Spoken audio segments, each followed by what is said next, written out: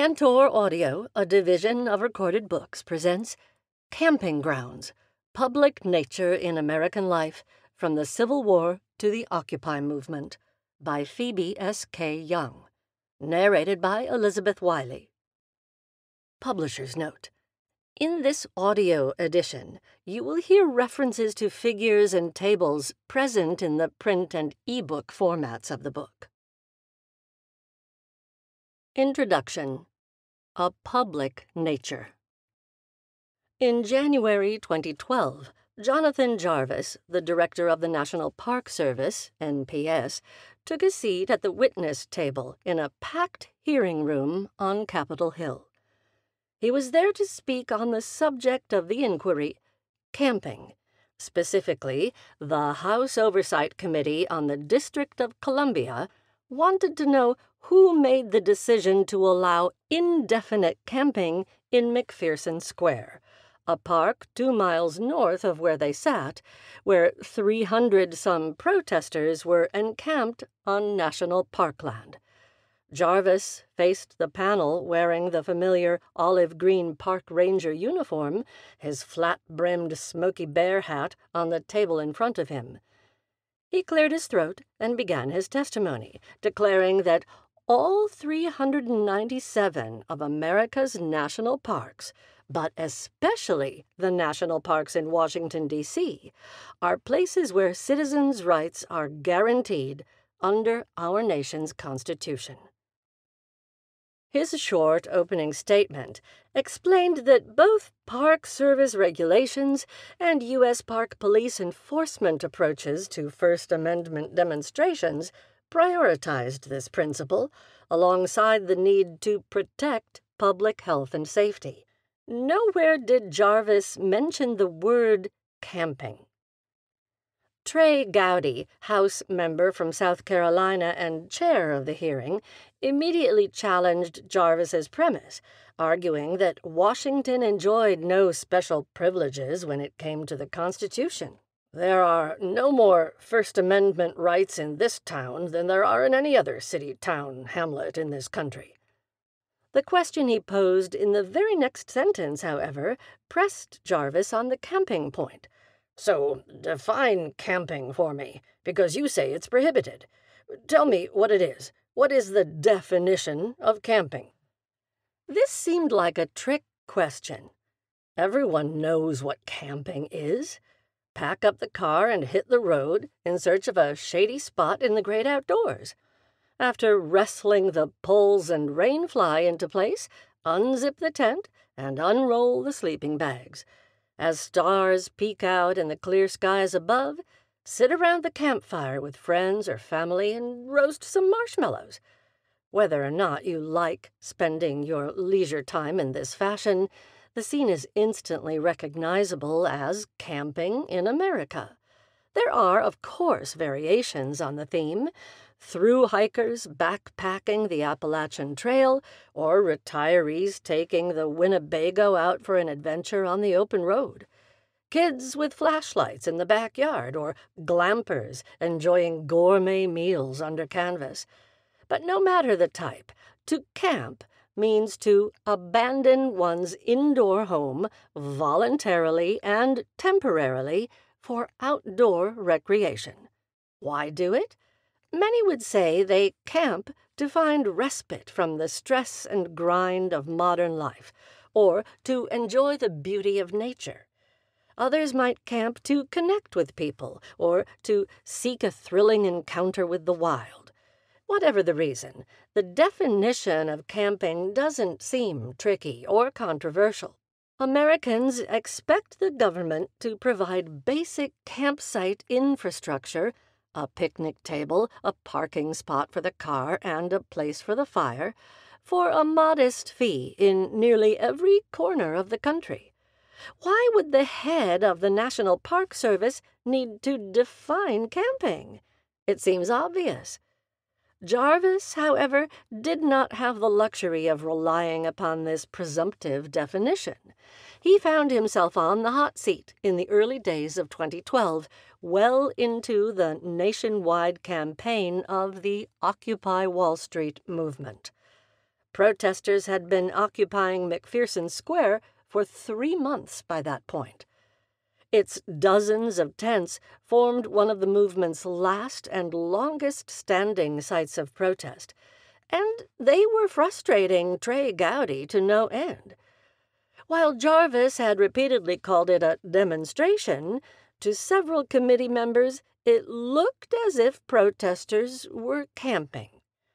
Gowdy insisted on a definition that would explain this situation because, he said, I need to go back to South Carolina and tell everyone who wants to spend the summer in one of our parks what camping is and what it is not. So define camping for me, juxtaposed with a 24 hour vigil, because you seem inclined to draw a distinction, and I can't draw a distinction. Occupy threw prevailing assumptions about camping into disarray. Jarvis tried to clarify Occupy was engaged in a political action for which camping served as a means, as opposed to the recreational pursuit, which camping was the end in itself. Unsatisfied, some representatives pressed him to identify the most fundamental feature of camping rather than the motivating factor. Jarvis boiled this down to sleeping or preparing to sleep outdoors.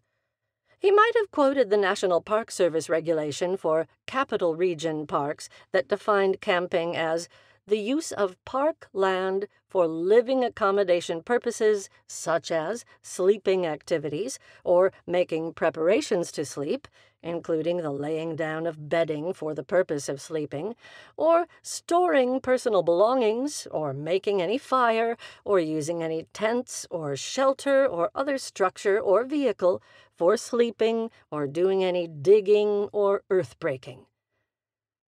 This legalistic description reduces camping to something that seems purely functional, virtually devoid of any of its pleasing qualities. According to this definition, Occupy was, in fact, camping. Protesters were sleeping, preparing to sleep, and using tents for sleeping, actions that were expressly prohibited at McPherson Square. Jarvis insisted, however, that they were equally engaged in First Amendment expressions through a 24 hour vigil, actions that were explicitly permitted there. For him, protecting these rights superseded prosecuting scofflaw campers.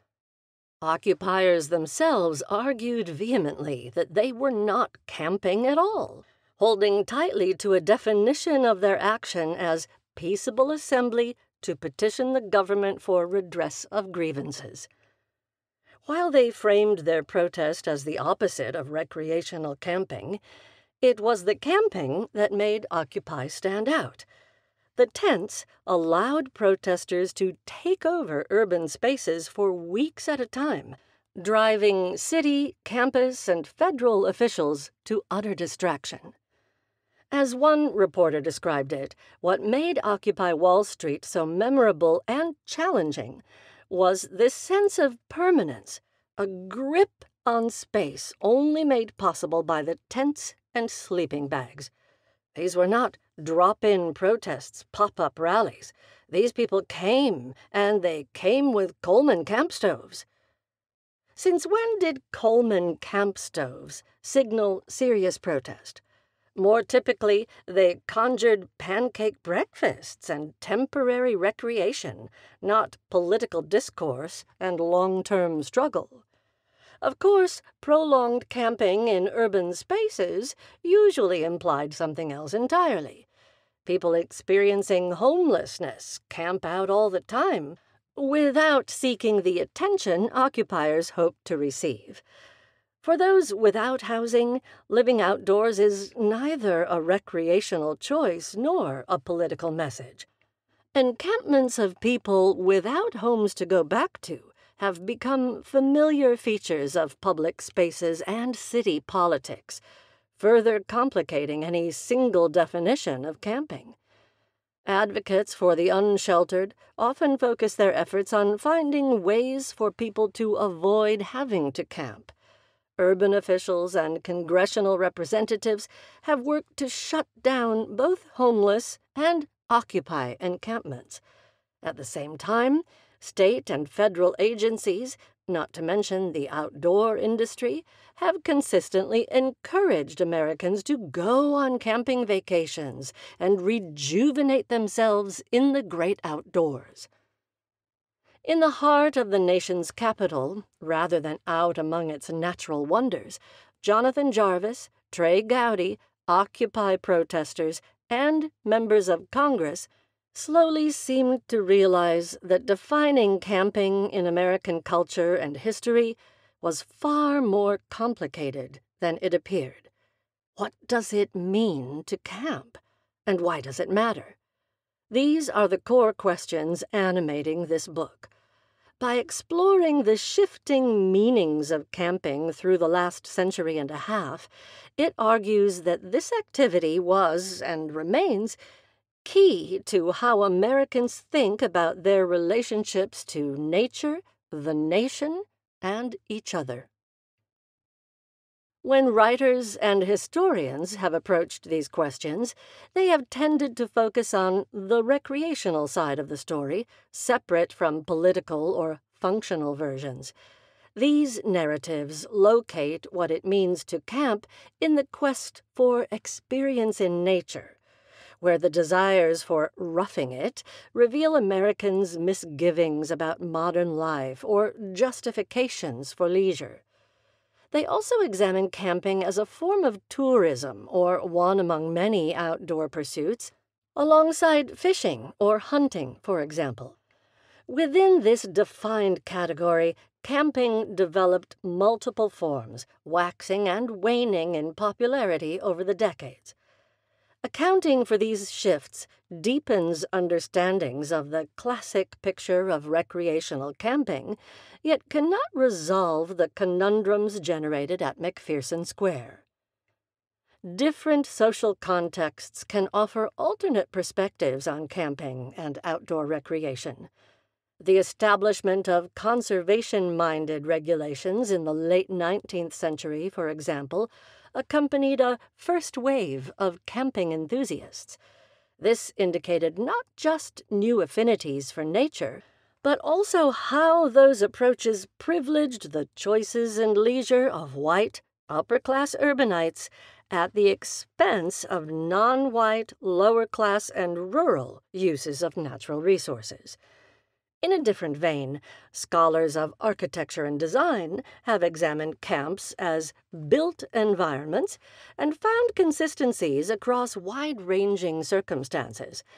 These studies draw provocative, often unsettling links between extremely varied camps not ordinarily found in the same conversation, such as the Guantanamo Bay Detention Camp and the Burning Man Arts Festival in Nevada.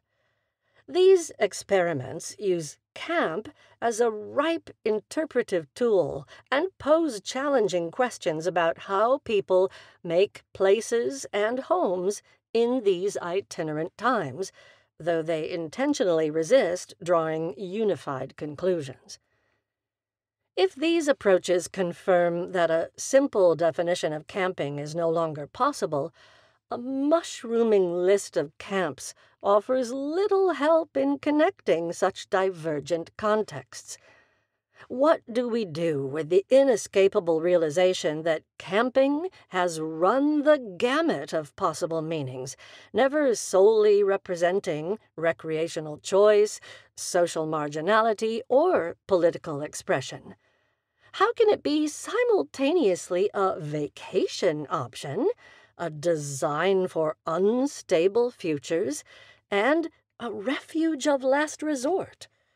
If neither motivation, that is, recreation, nor appearance, that is, something one does with tents, resolve what camping means as a whole or why it mattered enough to spark heated congressional debate, then surely it is necessary to grapple with how these forms developed in relation to each other. This book employs a pair of concepts that bring a substantial subset of camping practices into greater focus, at least for U.S. history.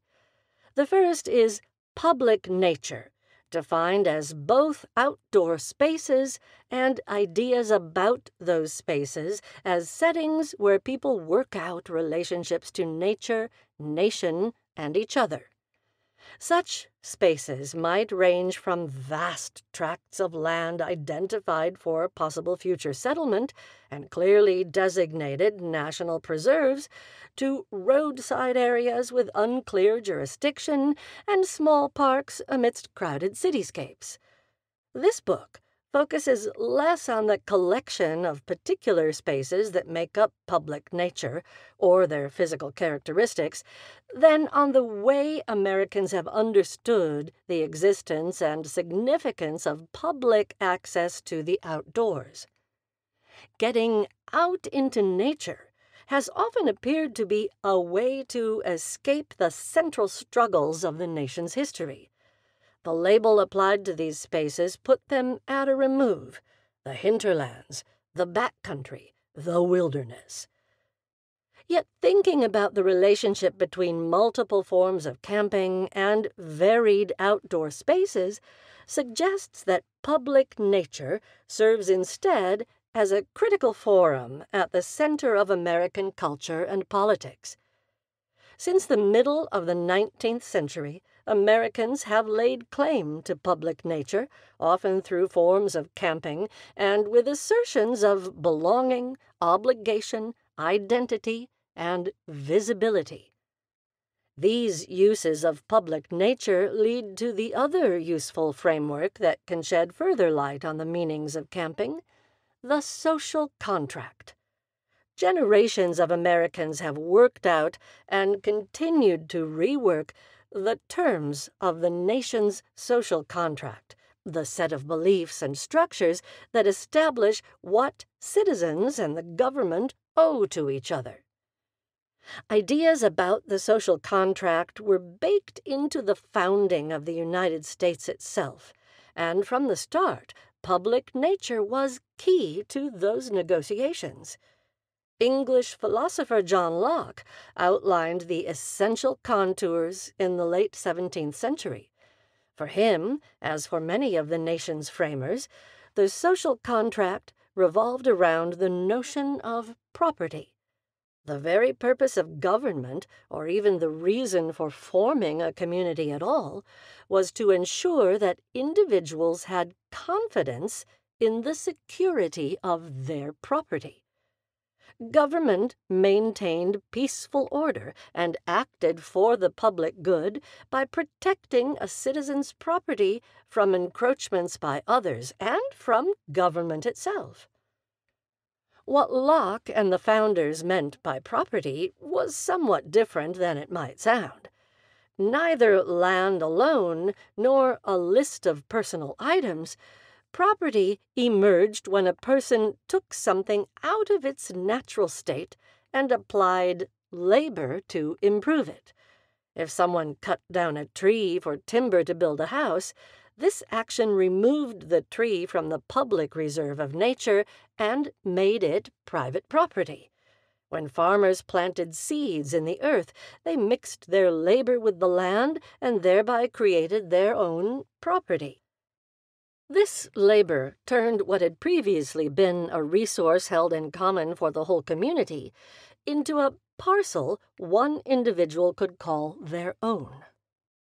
The process of creating agricultural property was fundamental to the Anglo American vision of this social contract, and the North American continent appeared to contain a great deal of fertile land in the state of nature awaiting the touch of human labor. Locke's formula was enticing. As much land as a man tills, plants, improves, cultivates, and can use the product of, so much is his property. Thomas Jefferson understood this framework as central to the political culture of the United States. In Notes on the State of Virginia, 1785, he observed that We have an immensity of land courting aspiring farmers, and hoped all citizens would take up the plough and cultivate it.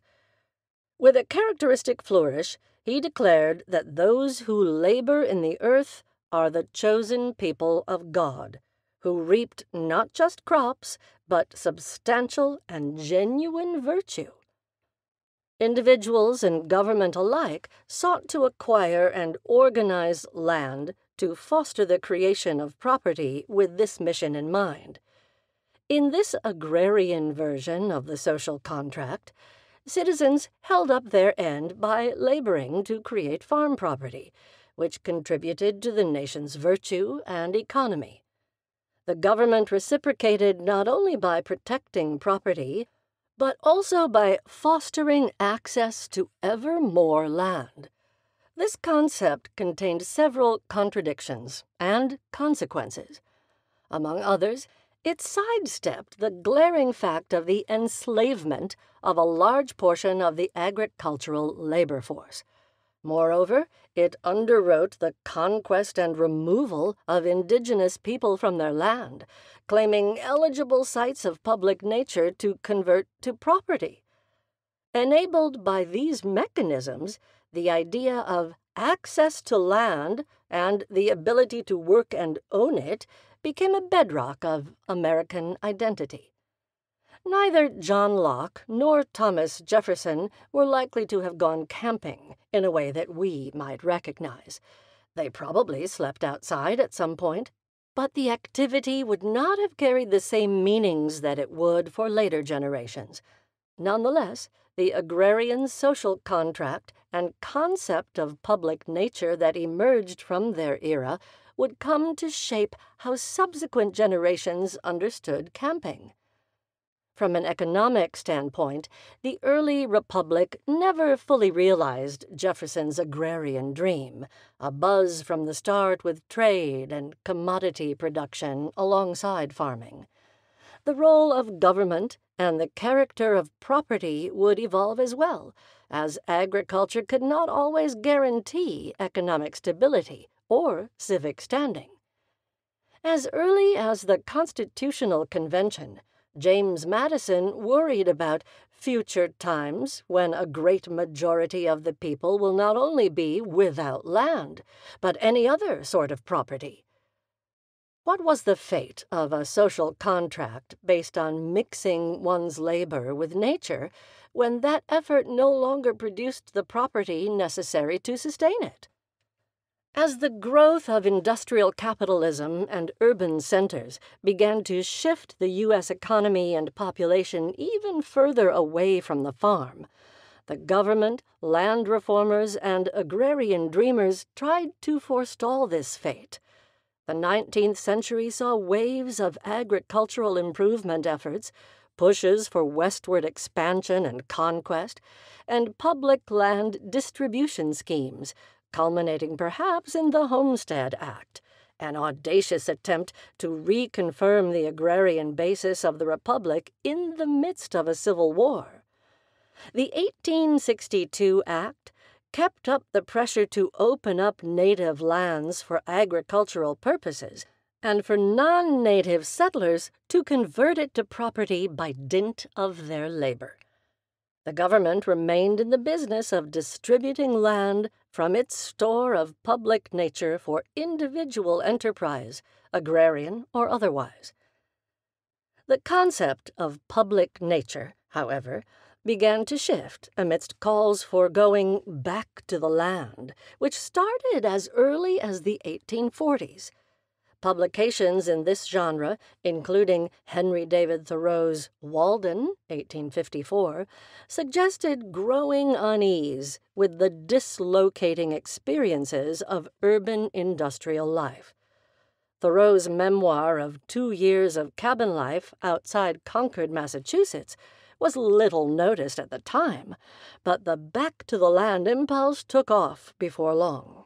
As popular New England essayist Donald Grant Mitchell reminded Americans in 1863, God, nature, and sunshine have not gone by, nor yet the trees and the flowers, or green turf, or a thousand kindred charms which the humblest farmer has in his keeping, and which remained for all Americans to reclaim.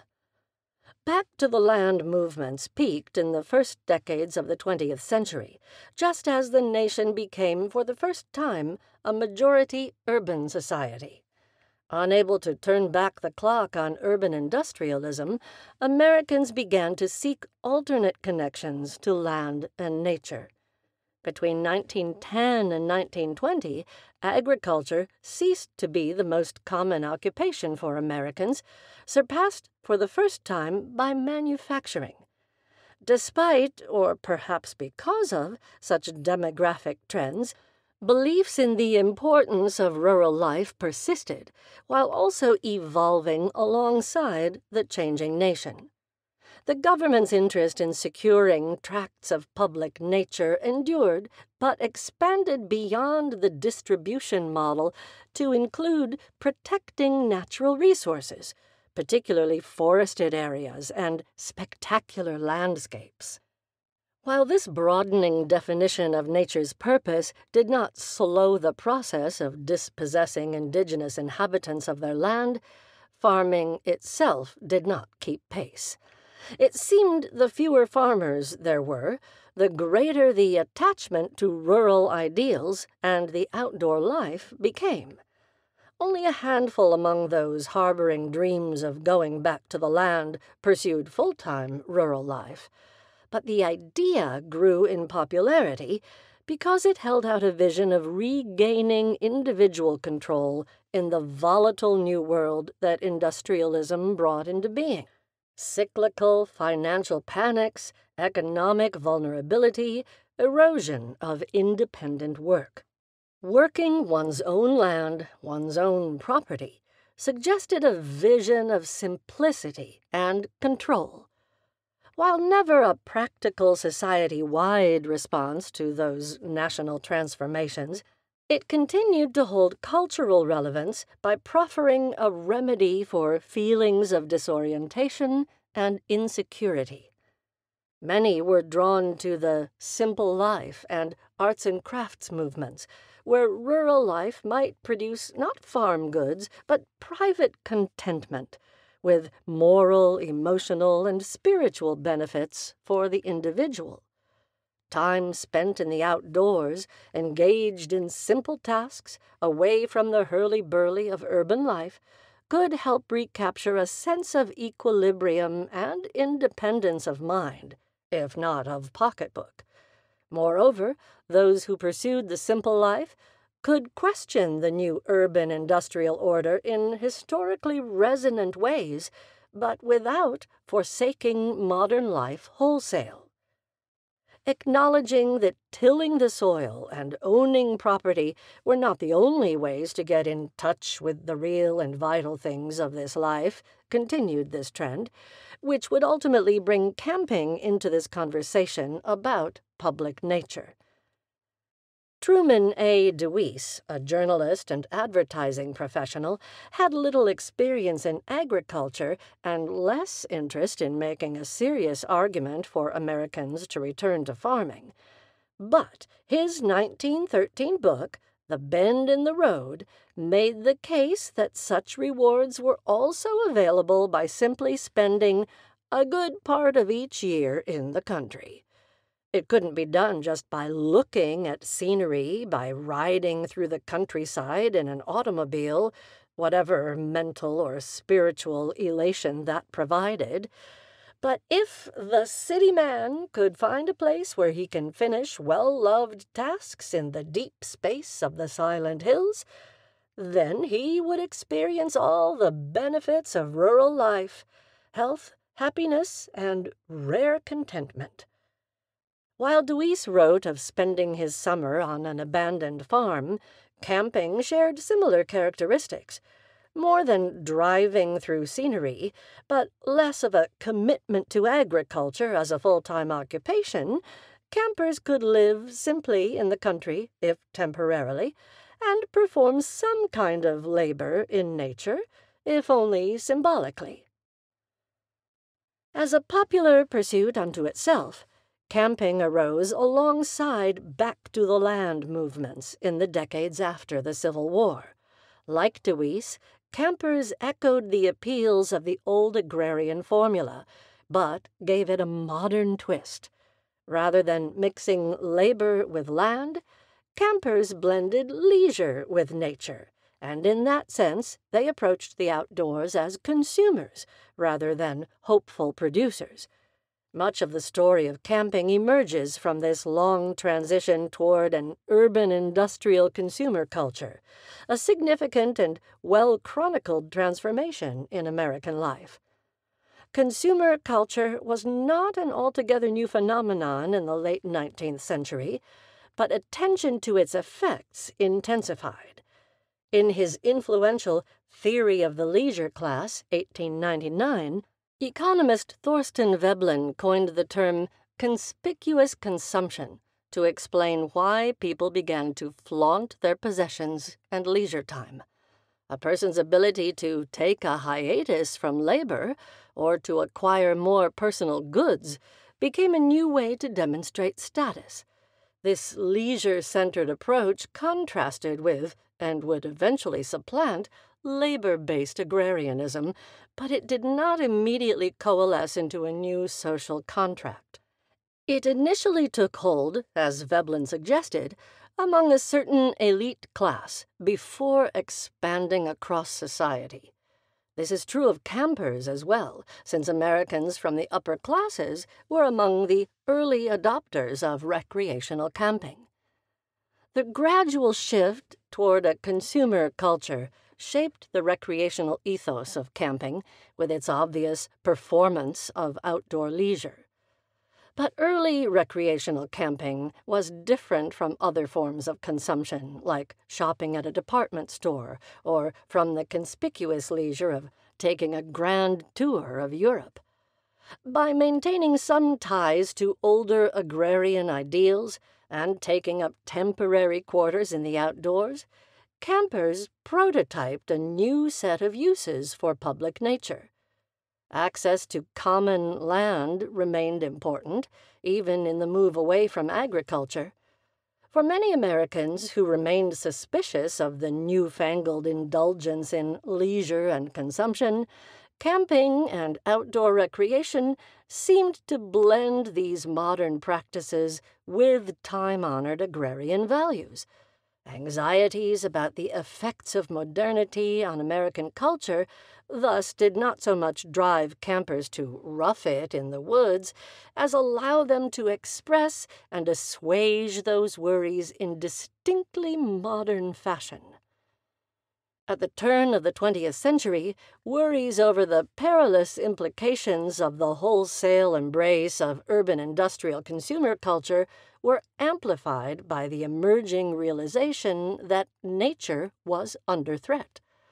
Modern development encroached upon the nation's vast reserves of natural resources and spectacular landscapes.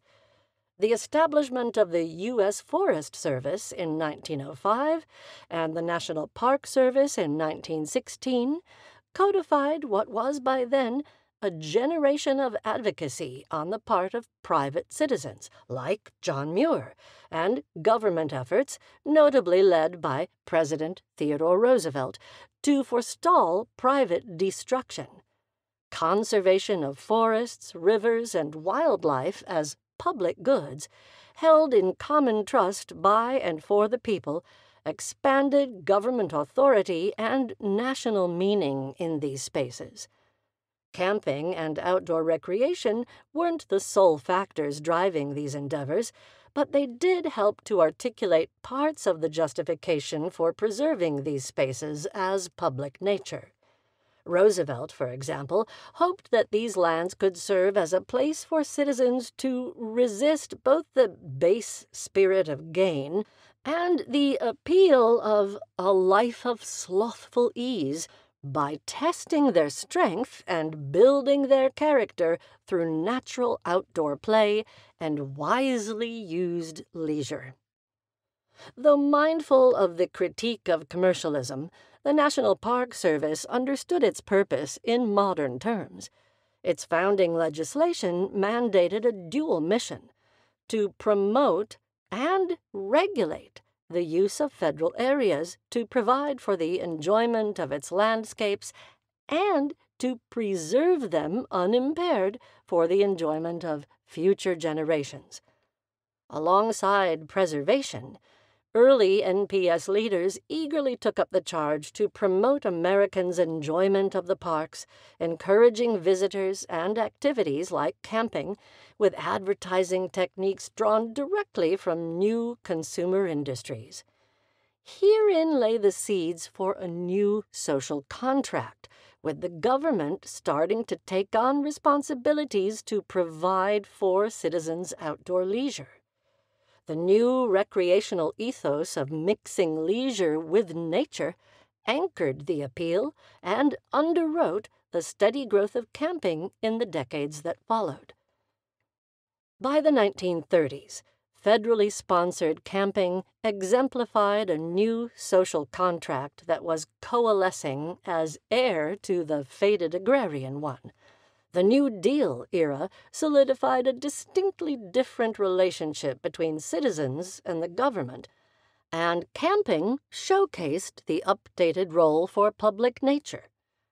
Campground designer and Forest Service plant pathologist Emilio Meinecke conjured a kind of camper's republic, a social contract wherein citizens had a right to a form of recreation that offers a chance to live more simply and closer to nature.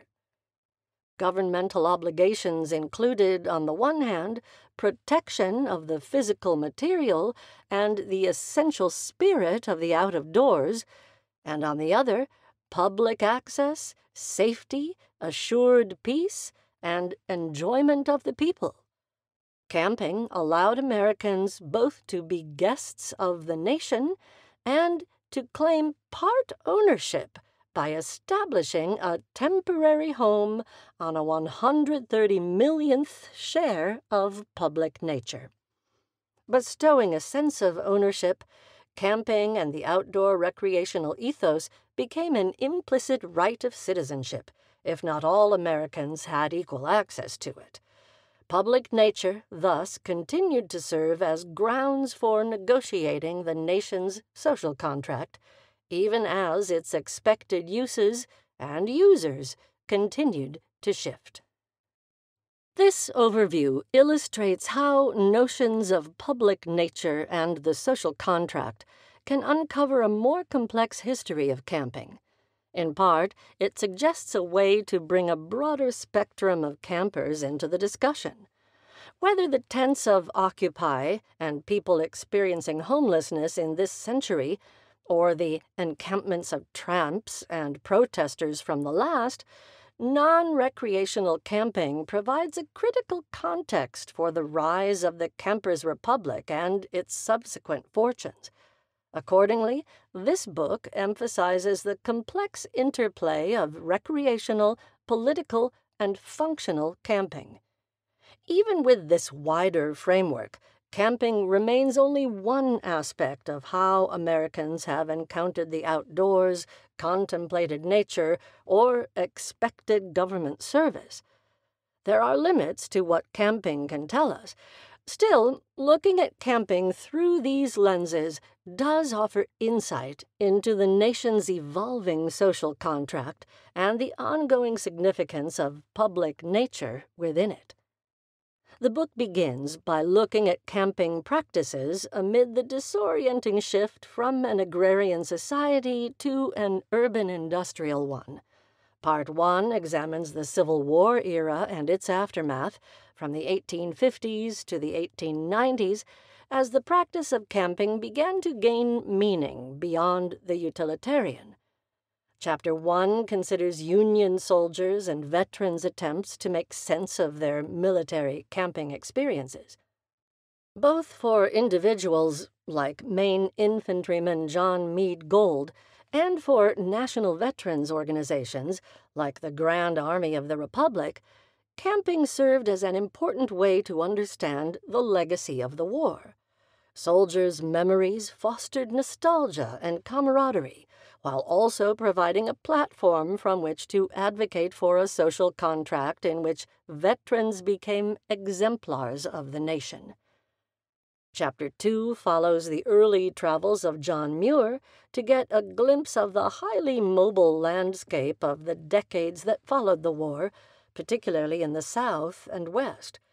Before he rose to fame as the founder of the Sierra Club, Muir walked the country's roads alongside transient laborers, newly freed African Americans, and Native peoples. He alternately knocked on strangers' doors, slept outside in fear of disease and alligators, and herded sheep in Sierra meadows. These experiences shaped Muir's seminal perspectives on wilderness, which in turn influenced changing views of public nature, including recreational and non recreational campers alike in the late 19th century. Part 2 traces the birth of the modern recreational ethos between the 1880s and 1940s Chapter 3 delves into the stories of early leisure camping enthusiasts, largely found among the elite classes, and what they hoped to find by venturing into the outdoors. The numerous stories in proliferating outdoor magazines and guidebooks suggest that rather than being a strictly masculine endeavor, women and families were a key to the practice as campers imagined themselves making temporary homes in the wilderness. They did not have the woods to themselves, however, as the phenomena of tramps, hobos, and itinerant workers grew during the same era, both in numerical terms and in public alarm about what their seeming rootlessness might portend for the nation. Chapter 4 focuses on how federal agencies responded to the simultaneous growth of recreational camping, popularized among the middle class by the mass production of the automobile in the 1920s, and the challenge of new waves of transients and protesters during the Great Depression. By the 1940s, citizens were claiming rights of access to, or in the case of African Americans, protesting exclusion from this public camping landscape. Part 3 assesses the rising dominance of recreational camping, along with its increasing complexity and consequences in the decades that followed World War II. Chapter 5 looks at how youth who came of age in the 1960s and 1970s shaped new forms of camping to support interests in self discovery, countercultural values, and environmental awareness. Leaders and participants of the National Outdoor Leadership School, launched in 1965, promoted backcountry styles of camping that fostered younger people's critiques of modern society even as they generated new markets for high tech outdoor gear. Chapter 6 brings the story back to the Occupy movement and its antecedents particularly a series of political encampments in the nation's capital since the late 1960s. While for many, Occupy seemed unprecedented, earlier actions that used camping to protest poverty, racism, the Vietnam War, and homelessness reveal new perspectives on public nature, including some voiced by Supreme Court justices as Occupy tried to use camping to expand political dialogue, the sharp expansion of unsheltered people camping out in urban spaces, rising to the level of an acute crisis in certain areas, raised the stakes for negotiations over access to public nature and the terms of the social contract. The epilogue briefly surveys the 21st century landscape of camping a dizzying continuum encompassing glamping and adventure styles, as well as new streams of mobile laborers, from campground hosts to Amazon's camper force. Meanwhile, outdoor recreation became key to new claims about human biological needs to spend time enjoying nature. recreational camping came to promise a good return on private investment in terms of family health and personal well being, more so than democratic access to public nature. The parallel rise of this justification for leisure camping and the intensifying homeless crisis, both drawn into sharp relief by the COVID 19 pandemic, strongly suggests that the social contract may again be in transition. Public nature and camping as a method of claiming it remains a potent forum for these renegotiations. This book does not attempt to offer an encyclopedic treatment of camping, trying to include every significant factor, even in the history of recreational camping, would have been counterproductive, not to mention impossible that some forms or movements get short shrift here scouting, sleepaway camps, World War II, RVs, and van life, for example does not mean that they have not been important to the historical development of camping or the experience of individual campers. The selective focus highlights key episodes that provide perspective on how Americans understand access to the outdoors as key to the nation's social contract and that represent significant turning points and figures within it. Further, this book does not attempt to offer a thoroughgoing history of homelessness or protest movements, which are available elsewhere. Instead, it dips into those histories when they collide with the discourse and practice of camping or highlight contests over public nature. One particular area of exclusion is worth mentioning. Incarceration camps, concentration camps, prison camps, detention camps, and refugee camps are, by and large, not part of this story. While examining these involuntary camps, or why they are called camps, even when not deploying tents, is worthwhile in its own right, that analysis is not an aim of this book. The campers who appear in these chapters include those who resort to sleeping outside under some form of duress, but their practices remain distinct from the powerful coercion or organized violence that spawned those sites. For example, although political factors certainly drove the World War II incarceration of Japanese and Japanese Americans in guarded camp like outposts scattered across the western states, they were of an entirely different order than the politics that surrounded Occupy Wall Street. The stories of refugees share commonalities with those who dwell in homeless tent cities. But the camping of tramps, hobos, and vagrants posed questions about the nation's public nature in the way that refugee camps, perhaps until quite recently, have not. This book does consider several borderline cases, such as Union Army camps and contraband camps of black Americans fleeing slavery during the Civil War, in relation to the range of meanings Americans assigned to the act of sleeping outside. However, in as much as possible, this book keeps the focus on intentional or even accidental camping as opposed to forced camps. This choice reinforces the book's key questions. What does it mean to camp? And why does it matter? And it serves as a reminder of how the recreational mode of camping represents a particular historical development rather than a universal need to get back to nature that Americans have come to prize some forms and places for sleeping outside while marginalizing and criminalizing others illustrates how camping embodies certain facets of ongoing national dilemmas. Does sleeping outside promise bodily health or reveal personal weakness? Should tents indicate transience or persistence, leisure or poverty, consumer comfort, or political protest? Do encampments warn of social disorder, encourage civic participation, or exemplify the public good?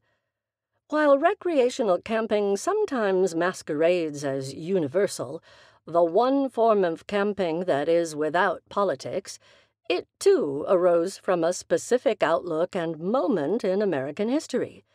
Its development both excluded some Americans and encapsulated a vision of the social contract where citizens could expect their governments to provide access to the outdoors for the public good. To say that recreational camping is a product of history does not mean that people who enjoy it have been duped into falsely believing they are connecting with nature. Many people, myself included, do find genuine connections while camping in the outdoors to the natural world, to other people, to their inner selves. That capaciousness is in part what gives those outdoor spaces and beliefs about public nature their potency. They hold out the possibility for connectedness beyond our political or economic worlds, even if these places and ideas have been wholly shaped by them. While there's nothing natural about the standard issue campsite with its picnic table, parking spot, and fire ring, it remains a tool for outdoor experience. When we see this setup as supporting one particular practice among several possibilities for making claims on public nature, camping might complicate our classic mental images. By focusing on that complexity, rather than defining it out, camping can tell us a great deal about the shifting grounds of nature and national belonging in American history. Part 1 Outdoor Strategies, 1850s to 1890s. 1. Comrades and Campfires. Three decades after the Civil War ended, General William Tecumseh Sherman recalled a memorable scene from the Union Army's campaign the evening campfire. Imagine a group of intelligent soldiers after night, the march done, supper over, and things put away for an early start, a clear sky above and a bright fire beneath. You have the perfection of human comfort and the most perfect incentive to good fellowship. It was a resonant image, a treasured moment removed from the brutality of battle. Yet Sherman, whose earlier memoirs mounted a righteous defense of the calculated cruelty required to win the war, was not indulging in any simple nostalgia or sentimentalism. For him, the significance lay in reviving this ritual for modern purposes. He believed it was still important for the men who saved the Union to meet often at campfires sing their old songs, and always cultivate the comradeship begotten of war. Younger generations ought to witness and draw wisdom from these modern campfires, where veterans gathered as comrades absolutely on equal footing, regardless of former rank, yet subject to self imposed discipline. While these images bore scant resemblance to the military hierarchy and discipline in actual army camps, the veterans' campfire suggested a symbolic and idealized microcosm for a nation wrestling with new challenges. The longing for this vision stemmed from the tensions and transformations of the post war era as much as it reflected any specific experiences of the war. Amid the dislocations that accompanied the enormous growth of American cities, the campfire suggested a simple, rustic outdoor practice, a hallmark of a lost, simpler time. Sherman's particular vision, moreover, conjured a sense of equality among citizens born of an earlier agrarian ideal when contemporary evidence pointed to growing divides between wealth and poverty. And yet it was not purely backward looking. This campfire highlighted the emerging figure of the veteran as a model citizen, who could, in Sherman's words, separate the true from the false, the brave from the timid, the earnest from the doubtful. The Union veteran embodied the expansion of federal power and continental dominion that followed every victory, even while echoing the idealized republic that came before it. Veterans thus came to serve as bellwethers for a nation and a social contract in transformation. It mattered that they did so from camp. Soldiers, of course, camped as a matter of necessity and obligation. Starting in the spring of 1861, hundreds of thousands of American men found themselves living in army camps. Neither the numbers nor the experience of sleeping outside made their camping meaningful in the way Sherman was promoting. The Civil War was hardly the first mass camping episode in recent memory. The Overland Trail saw 300,000 people travel west and sleep under the stars for months at a time in the 1830s and 1840s. The California Gold Rush brought thousands more campers to the Sierra Nevada. Moreover, religious camp meetings were widespread throughout the early 19th century, especially during the Second Great Awakening, the Cain revival in Kentucky in 1801 drew upward of 20,000 people to its grounds. The significance of Civil War camps lay in what the survivors did when they returned.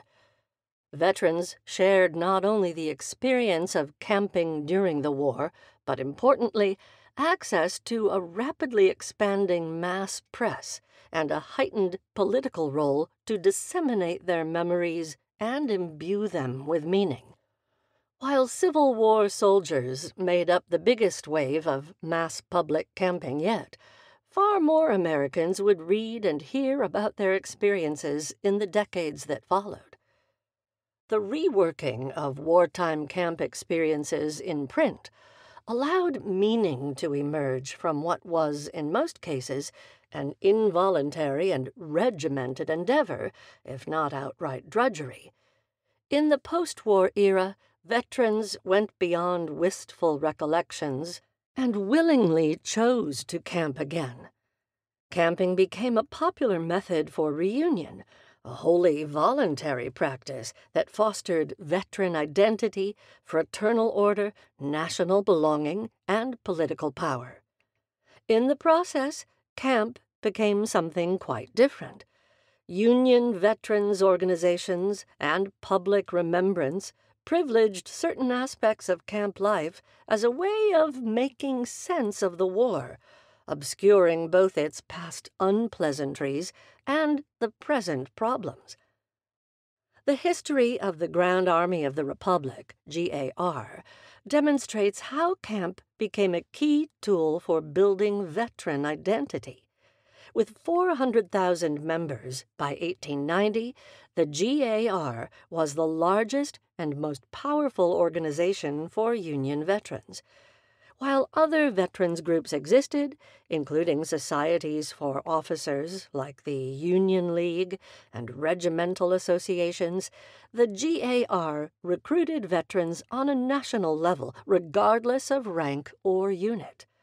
Moreover, it sought to blend remembrance with advocacy, particularly for its signature issue of federal veterans' pensions, which candidates for elected office opposed at their peril. The organization used camping to advance this effort on multiple levels, but most notably in its annual gatherings called National Encampments.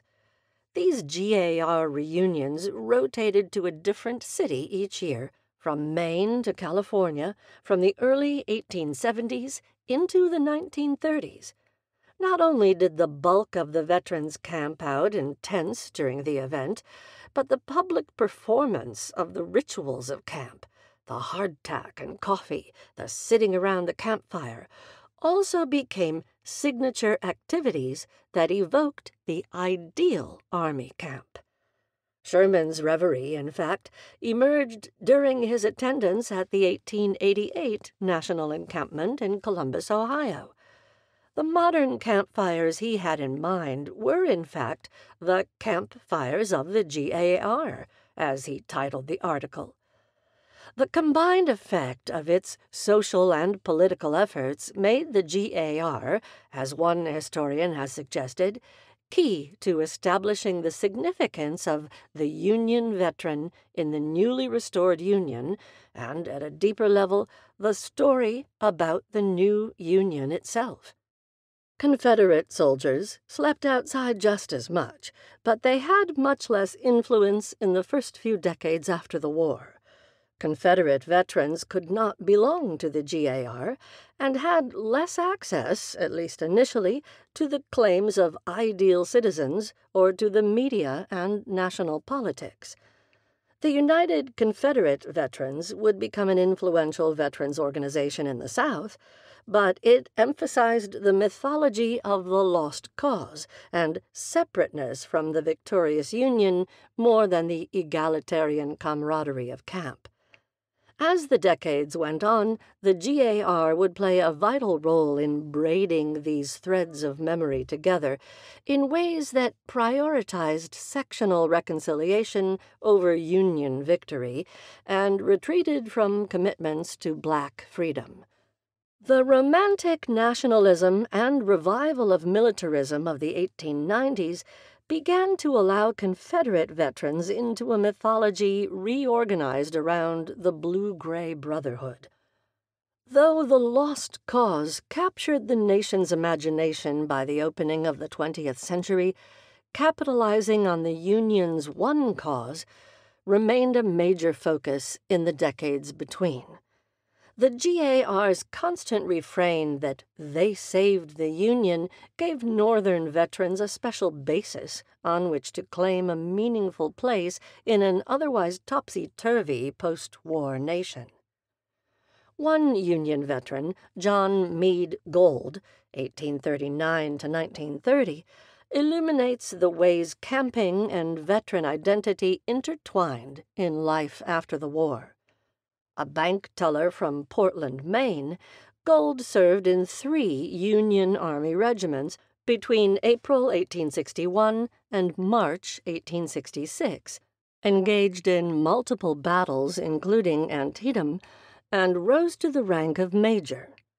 After a brief interlude as a carpetbagger entrepreneur, Gould returned to Portland and his job at the bank, where he would work for the rest of his life. His extensive diary detailed many nights spent camping, as soldier and veteran, and with friends and family. He also joined the outpouring of veterans' narratives that appeared in print after the war, publishing both the definitive regimental history of his units, the Maine 1st, 10th, 29th, and an early recreational camping guidebook, How to Camp Out Hints for Camping and Walking, 1877. The camping guidebook was not intended for soldiers or veterans explicitly. They already knew how to camp. Rather, he hoped to pass along the knowledge and meaning of camp to a new generation for new purposes.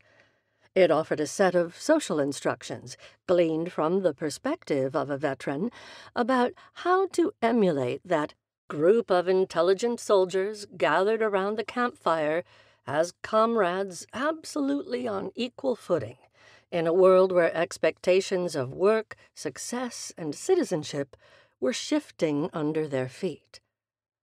While Gould clearly cannot speak for all soldiers or all veterans, his perspectives offer insight into the role of camping as it moved from an involuntary and functional necessity in the Union Army to a symbolic and voluntary activity among veterans in the tumultuous post war era. Gould and the GAR together offer a glimpse of the development of camping beyond its associations with outdoor recreation or desires for wilderness. Instead, they point to the shared etymological roots of camp and campaign, which both contain military origins. From archaic associations as the field of combat, camp came to indicate the site that soldiers dwelled and defended before it acquired a more general meaning. Campaign referenced a series of military operations before its connection with politics.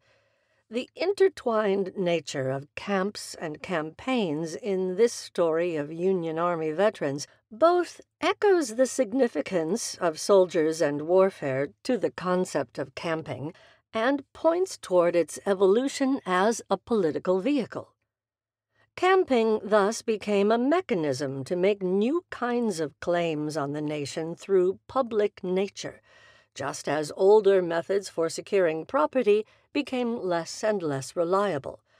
It became increasingly clear in the years after the Civil War that whatever unevenness had characterized the agrarian social contract in the past, it was now fraying badly.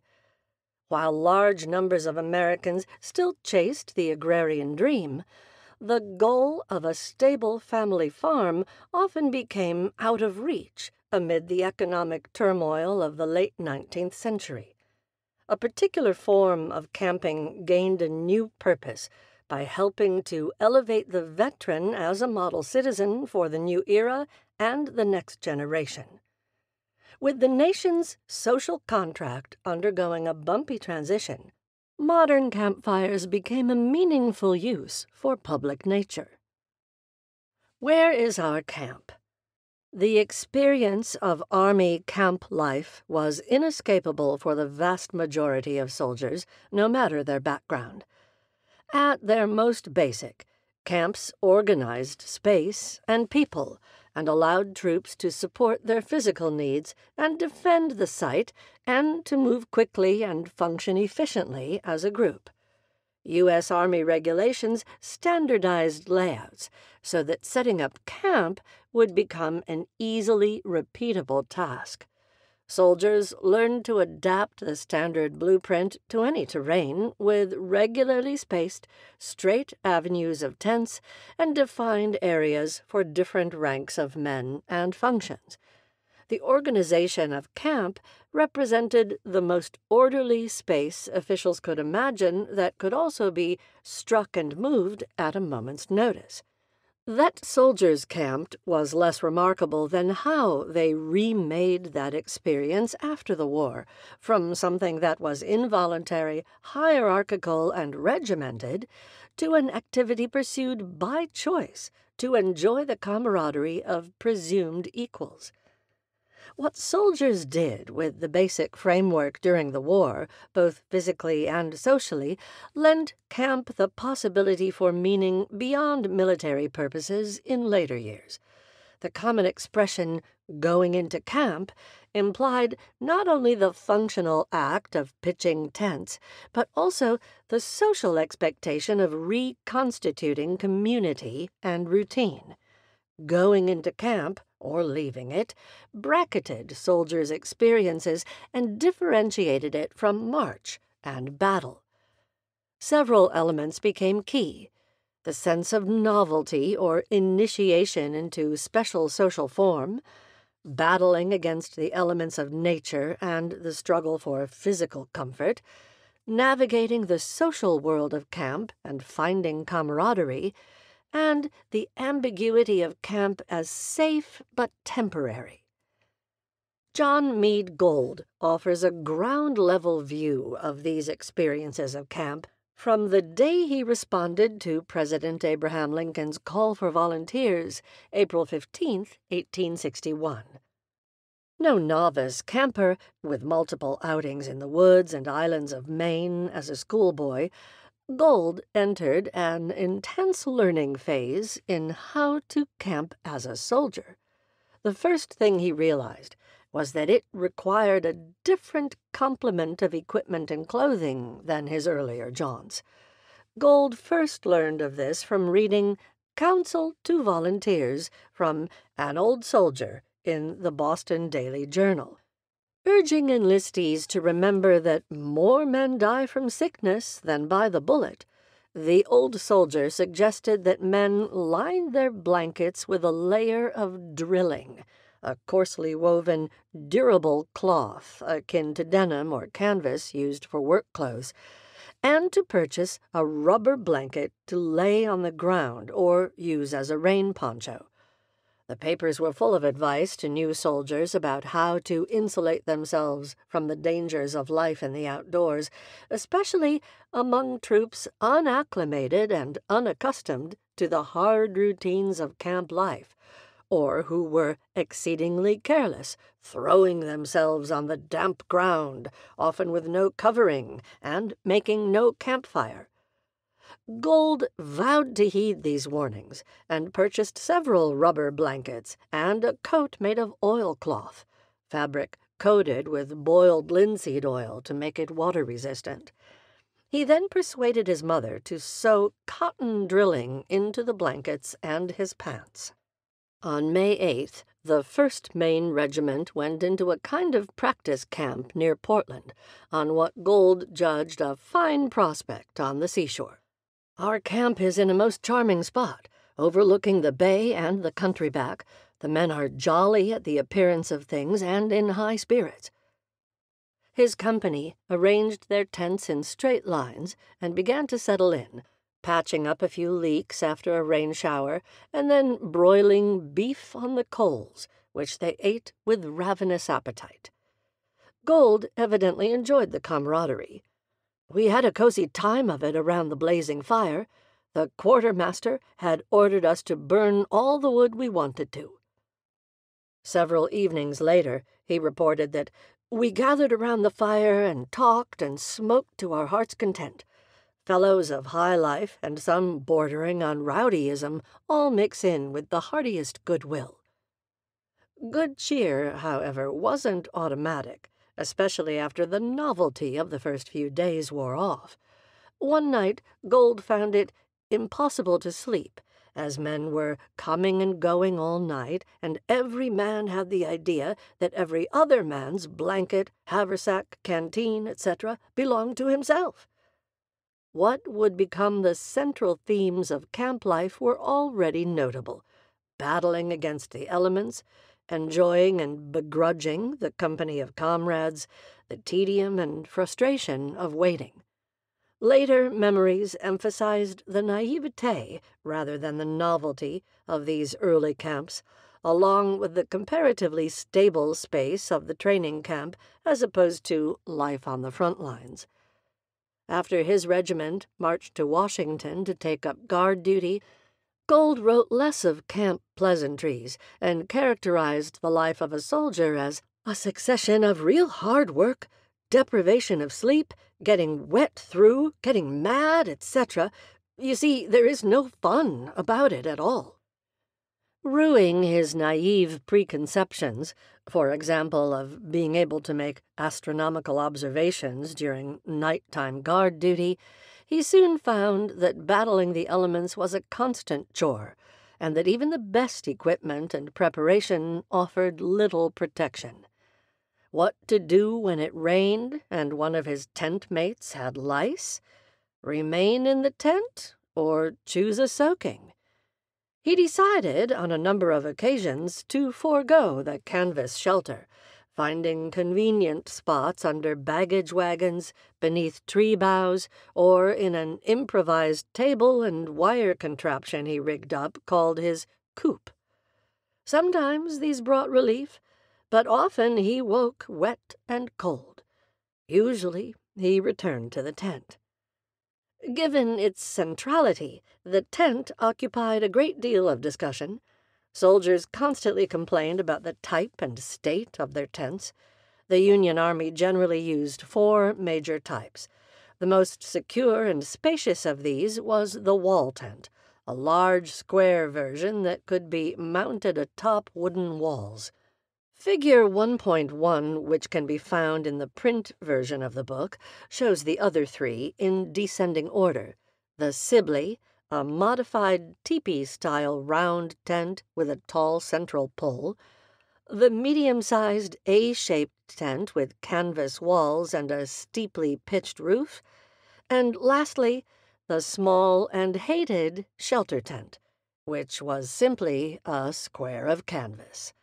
The shelter tent required no poles, but could be hung over ropes or branches, and was parceled out in pieces, where each soldier might carry a half, button it with another man's, and put them up together. The bulkier, larger tents usually had to go in the baggage train, and so were only used for longer encampments. Orders to switch to shelter tents elicited groans. Soldiers derided them with the nickname dog tents, since they were so short one had to crawl on all fours to get in or out. Gould called the shelter tent the greatest improvement on no tent, and the greatest sham alongside with another style of tent. Despite these drawbacks, their efficiency led them to being the mainstay of Army issue tents through the next century. Once Gould was promoted, first to the position of regimental sergeant major and then to the rank of first lieutenant in 1862, he had priority on the better camp amenities. These promotions gained him more regular access to an A tent. He noted that he now, without any help, have always had the neatest tent and the greatest amount of modern improvements inside while in a private tent the earth is thrown up in heaps against the curtain to keep out the cold, and with a rickety gun rack and an ammunition box are all the improvements they claim. Having been on both sides of the camp hierarchy, Gould tended to feel empathy for the mass of men. It is pleasant this evening to be here in my comfortable tent, dry, sheltered, and everything cozy as can be while 50,000 poor fellows are out in the cold, piercing wind and rainstorm. My conscience makes me shiver from head to foot to think of it. Soldiers, however, were inventive in improving upon the standard issue equipment. The landscape itself became a malleable template, as Gould noted late in the war. We do not lay out camps exactly according to the regulations, but take advantage of circumstances. As soon as the order came to go into camp, soldiers took down fence rails for poles, scrounged boards for tent floors and tables, and raided wheat fields and hay mows for bedding. The first thing to go was typically any stand of trees adjacent to the camp, cut down for fuel. But soldiers quickly recognized the usefulness of trees for shade and windbreaks, and when anticipating a longer term stay, they even began to transplant trees and bushes. Gould recorded one memorable episode from 1861 in the sweltering camp outside Washington, D.C. He observed a New York regiment of Germans who collected quantities of young trees and transplanted them around their tents, making it cool and pleasant. The New Yorkers then brought a fine band and had a lager beer cart going in about an hour after they were encamped. Gould and his tent mates seized on the idea, minus the beer, and moved several red cedars to provide shade for their tent. A couple of weeks later, they discovered that their transplanted trees had wilted and commenced dropping needles, which caused their skin to itch. They spent some time replanting young hardwoods, only to have a strong storm knock them all into the tent one night. The days that followed found them trying to devise better methods for securing the trees.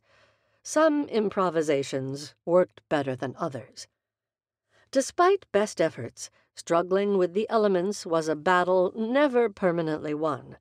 Cold, rain, wind, snow, or wet ground were constant nemesis. Though Gould was fond of remarking how soldiers could stand cold and heat and wet better than those who live indoors, he also found himself miserable on plenty of occasions. Pests, particularly fleas and lice, had great powers to induce frustration. By 1863, he declared that the camp was one grand louse trap, and a clean man has all he can do to keep clean of the rascals. Gould recounted yet more harrowing encounters with insects in a camp in Culpeper, Virginia, during a heat wave that August. Swarms of beetles invaded the camp as thick as grasshoppers, crawling into the tents and into men's clothes at night, and for some reason or rather they bite me, which they don't do to others. Last night I woke up from a sound sleep, perfectly startled by one of the rascals having clutched me by the leg and was gnawing away like a rat. More often, however, going into camp meant a modicum of comfort, thrown into relief by contrast with the misery outside it. Gould described a hasty, confused retreat from Winchester, Virginia, which required his regiment to abandon a nicely improved camp along with many of their belongings. He mused about the sudden reversals of fortune while sitting under a blanket in a rainstorm. What a fool I was to come to war! The whole life of a soldier is one of alternate pleasure and pain. Think of it, ye mortals. Step out as you are now in your indoor dress, lie down in the street, and let a thunderstorm pass, repass, and pass again, and you sleepy as death. Think of it. No shift in the morning, no fire, no house to get into, no hot coffee. Nothing in the shape of fun is this bivouacking. The next day he was still wet and grumpy. You may think that a hard pine floor is less comfortable than soft wet earth. To be dry is the greatest blessing a soldier can enjoy, and the loss of our rubber blankets is the greatest loss we shall suffer from our rout of last Sunday.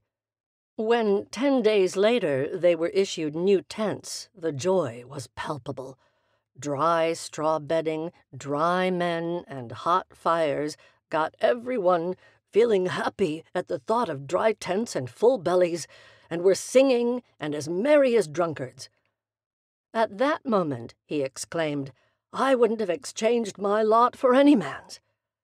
From this drier vantage point, he reflected, all good comes by contrast, and the contrast between marching in the rain and resting in a tent with the rain pattering on the canvas was so great that the boys could not help being happy.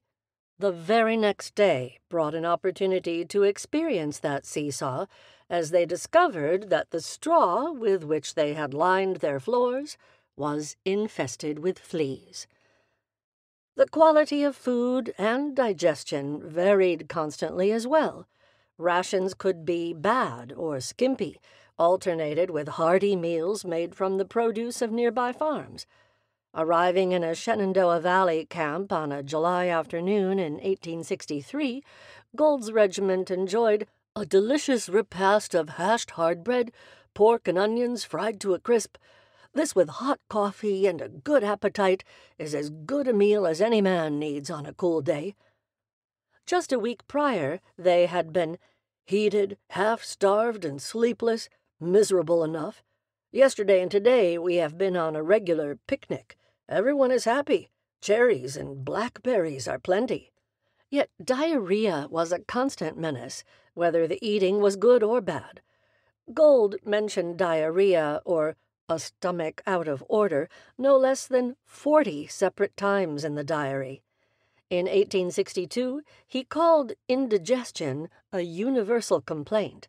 In 1864, diarrhea was the prevailing disease of this country. Gould wrote in the summer of 1864 of the essential connection between misery and comfort there is one fine thing about marching all day, getting tired, sleepy, dirty, and impatient, and that is the pleasure you take in camping at night, washing, eating, sitting down before the campfire, and then going to bed, not in linen sheets, but in good, warm, shoddy blankets. And I found it so last night for the thousand and first time. This notion of camp as a return of comforts temporarily missed was one memory that seemed to last. Sitting around a campfire as veterans in after years reminded them more of better days than bad ones. If surviving the hell of battle together created lasting friendships, camp was where soldiers relished them. Gould's most valued companion was Alpheus Green, drum major for the 10th Maine and sergeant major in the 29th. Green and Gould became fast friends and tent mates, keeping each other company over the many months of camp life. In 1863, Gould described his comrade. He believes in cheek and perseverance and in the idea that Green is just as good a man as any other man. He is a profound lover of good music, and we have many pleasant chats. Together, they built sturdy winter quarters in Virginia, which they named the Chateau, a split log structure with an A tent for a roof, complete with chimney of rocks and mud and a wooden bed frame. On many days, Gould reported that he and Green sat inside, reading, writing, and talking the days away, and then spooning throughout the cold nights to keep warm. When Green mustered out in 1864, Gould missed his friend deeply. He found the replacement a very nice fellow, but of course doesn't take the place that an old and intimate friend does. Gould developed close connections with other soldiers, but he also quarreled with, disapproved of, and complained about many more. The Secesh, as Gould called them, were clearly the enemy, but the Union side was not simply one big happy family. Army camps were full of the social tensions around class, race, and religion that swirled around Northern society as a whole. Even when neighbors served together, camp life threw men of different temperaments and habits together. Navigating these social minefields was a key aspect of camp life. Gould encountered frequent difficulties in navigating differences with men who had different predilections and beliefs. Their behavior frustrated him, and he often critiqued them for immaturity or bad habits, such as smoking, gambling, or swearing. He believed they should spend idle days in activities like reading and writing, rather than such antics as snowball fights or baseball games. Soldiers' vices were a keen source of consternation for Gould. At one point, he moved his tent away from company lines because the shocking profanity of the men is too much for me.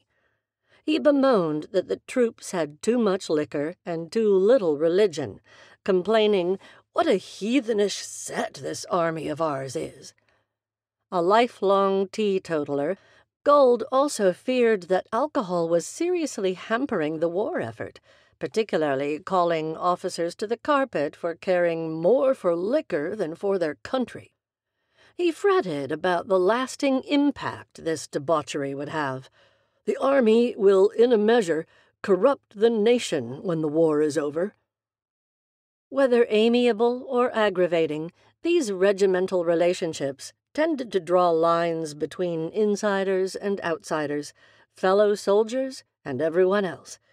It was a select group of veterans who could most easily access the claims of camaraderie promoted as symbolic of the nation in later years.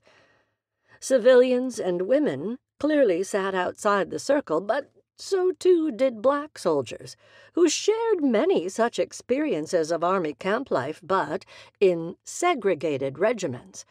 Moreover, the African Americans who lived in camps as cooks and manservants for white soldiers could not gain access to the sense of campfire camaraderie despite their proximity. In fact, the white soldiers able to hire such servants perhaps had more opportunity for such camaraderie, buffered somewhat from the less enjoyable tasks of camp housekeeping. For his part, Gould was both anti slavery and held a low opinion of African Americans as people, a not uncommon combination among white New Englanders, though his vision evolved in complexity as the war went on. For example, in 1862 he noted, I have a profound disgust for the darky, as do all soldiers, and frequently referred to them in degrading terms and stereotypes. Early on in the war, Gould hired and then fired a series of black cooks, reporting, for one, that We turned off our nigger cook this morning, as he is sick, nasty, lazy, and saucy. As late as mid 1864, he did not seem to object when the regiment, out of boredom, participated in the ceaseless sport of pelting the Negroes as they pass by on mules. The same day, however, he praised our industrious Negro engineers, who were hard at work making a bridge over Choctaw Bayou. Late in the war, he became a careful and considerate observer of slave society personally interviewing a number of freed people about their experiences. Whether viewing African Americans with derision, curiosity, or grudging respect, Gould found little opportunity for a similar sense of comradeship with them, less even than the members of his own regiment, whom he found most dissolute. The precarious nature of camp itself intensified the social relations and emotions it produced. Going into camp brought comfort and relief, but it could never be a permanent haven, for to win, the Union Army had to break camp and forge into battle. To stay in camp was to stagnate, and soldiers often grew weary with the waiting and the tedium even as they lived in dread of the next march, the next battle. In camp, recovering from the bloody ordeal of Antietam in late September 1862, Gould recorded that he sat in a perfect horror of the next order to move. He recognized that the war can never be ended by the army remaining in camp, but as long as the 10th Maine got to stay in the rear, he was grateful. By November, the regiment was busy settling into winter quarters near Berlin, Maryland, but on December 9th, orders arrived to move the very next day at 3 a.m. to Harper's Ferry, Virginia. The order went through the camp like a flash of lightning, and instantly every hammer stopped its pounding and every axe its swinging. A death-like silence reigned, and the men moped around with countenances as after a battle. Just like that, a month of work invested in labor to protect themselves from the winter weather was lost. So we are off in the morning. My heart is in my boots. I never had so little patriotism, enthusiasm, nerve as now. Awful, awful. Just two days later, Gould chided himself. After an easy march, they pitched camp at sunset with haversacks full of good things, the body refreshed by long inaction at Berlin. We were so troubled the day we received order to march, but tonight I felt as jolly as an Irishman after we had got our tent pitched and were eating our supper. When final victory did arrive, surprising Gould at how suddenly and unexpectedly this rebellion has ended, the idea of occupation duty left him nonplussed. He had come to loathe the tiresome obligations of being in camp with nothing to do. Camp without the counterpart of march or battle had lost its purpose. Once I had an idea that if I could get into the regular army, I would not refuse the chance. But peace soldiering is so contemptible a business that I don't wonder all our truest officers left the Army years ago. In the summer of 1865, Gould grudgingly headed south with his regiment, first to Georgia and then to South Carolina, where he would be appointed a provost judge, arbitrating disputes between black and white residents. On the way to his new assignment, Gould passed by the prison camp at Florence, South Carolina, which had imprisoned up to 15,000 Union troops, nearly 2,800 of whom died within its confines.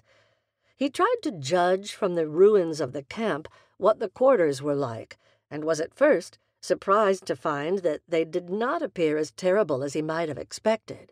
But on further reflection, he recognized that he didn't know how many lived within each hut, if they were allowed to make fires for warmth, or what protection they had from rain and mud.